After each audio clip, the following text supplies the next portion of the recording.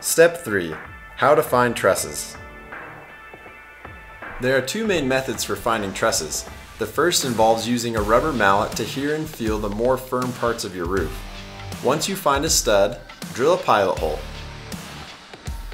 If you miss the truss, bend a metal hanger in the shape of an L and insert it into the hole to feel for the exact location of the truss. From there, measure to the middle of the truss and drill your hole.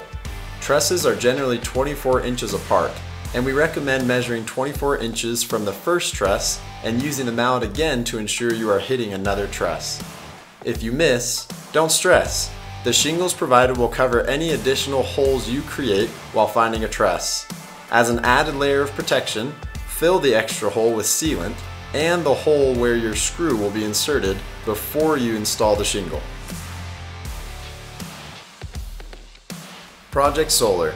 Easy DIY, better ROI.